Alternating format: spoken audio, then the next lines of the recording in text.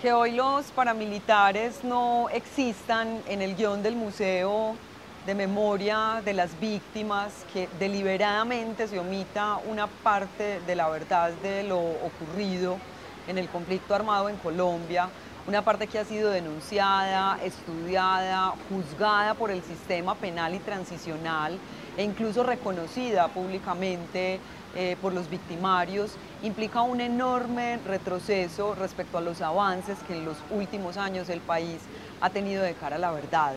Yo creo que primero se revictimiza a las víctimas, esos millones de hombres, mujeres, niños y niñas que sufrieron los vejámenes, el horror por el asesinato y la desaparición de sus seres amados, el desarraigo de sus territorios, la violencia sexual sobre sus cuerpos y las múltiples e inenarrables formas de victimización.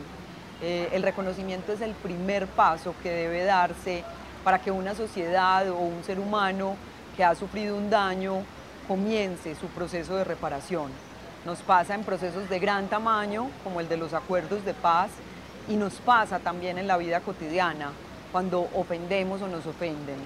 Eh, si alguien que nos ha infligido un daño lo reconoce, es mucho más factible que sanemos. Si le hemos infligido un daño a otro y lo reconocemos, es probable que nos sintamos tranquilos.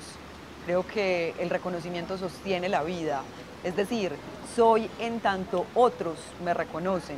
Cuando se ha sido víctima, el proceso de reparación tiene altas probabilidades de ser exitoso si alguien reconoce el daño. El paso siguiente es el reconocimiento colectivo y en esto los museos de memoria, sus narrativas y símbolos cumplen una labor fundamental, ya no solo para que la víctima elabore su experiencia, sino para que la sociedad reconozca el daño y contribuya así eh, al proceso de reparación. Creo que es la comprensión de lo ocurrido lo que nos permite avanzar. Comprender, como dice Ana Aren, eh, hace posible que nos reconciliemos con la realidad, pero la comprensión, ese proceso por medio del cual otorgamos sentido a lo vivido, solo es posible cuando disponemos de elementos de discernimiento suficientes para elaborar un juicio propio. Eh, posiciones parcializadas las hay muchas, pero que sea un organismo del Estado que se supone debe salvaguardar la memoria histórica de un país, eh, hace de este hecho algo mucho más grave y contribuye a la desconfianza de la ciudadanía en las instituciones.